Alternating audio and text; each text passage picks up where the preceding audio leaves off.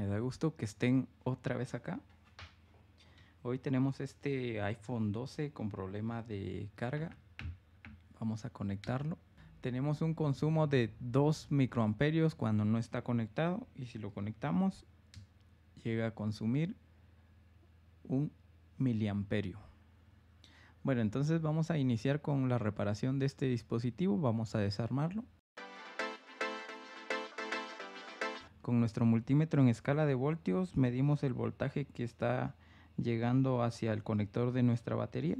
Tenemos un voltaje de 900 milivoltios. Con ese voltaje jamás va a cargar mi batería. Este puede ser un caso de circuito de carga. Vamos a sacar la tarjeta del housing para poderlo trabajar. Antes de desarmar el dispositivo vamos a pasarnos al microscopio y vamos a revisar el voltaje de 5 voltios de la entrada de la USB. Para encontrar el punto de prueba de los 5 voltios vamos a usar la ZXW. Nos pasamos a la tarjeta principal. Tenemos aquí la entrada de los 5 voltios. Vamos a ver si nos llega algún test point al parecer no tenemos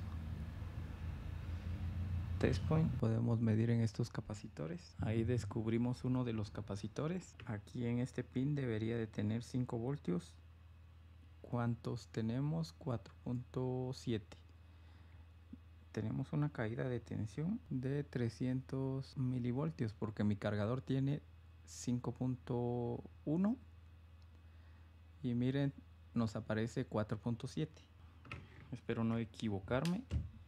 Si tenemos una caída de tensión la mayoría de veces va a ser nuestro circuito de carga ya que lo hemos comprobado al trabajar otros modelos vamos a sacar la tarjeta del housing y vamos a repararlo ahora vamos a separar las tarjetas ya que lo tenemos ya desarmado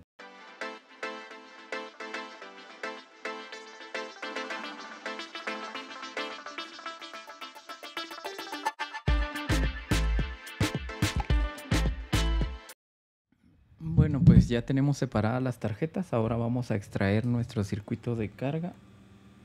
El circuito Kraken.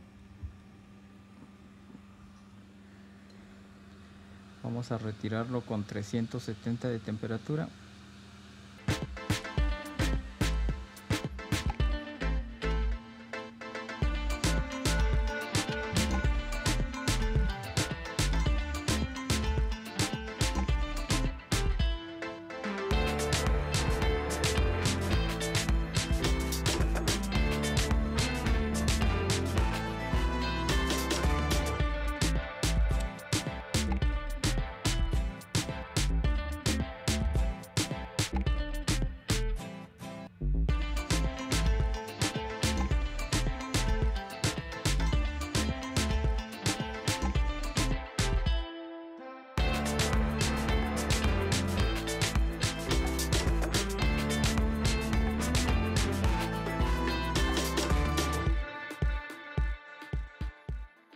Bueno, ya reemplazamos el circuito de carga. Ahora vamos a comprobar si ya está cargando.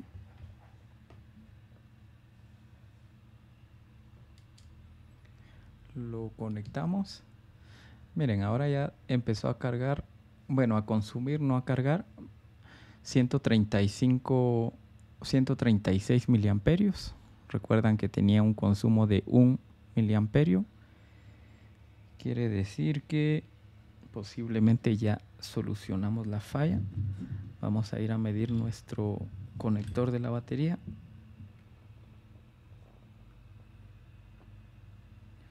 Uno a tierra y uno al positivo.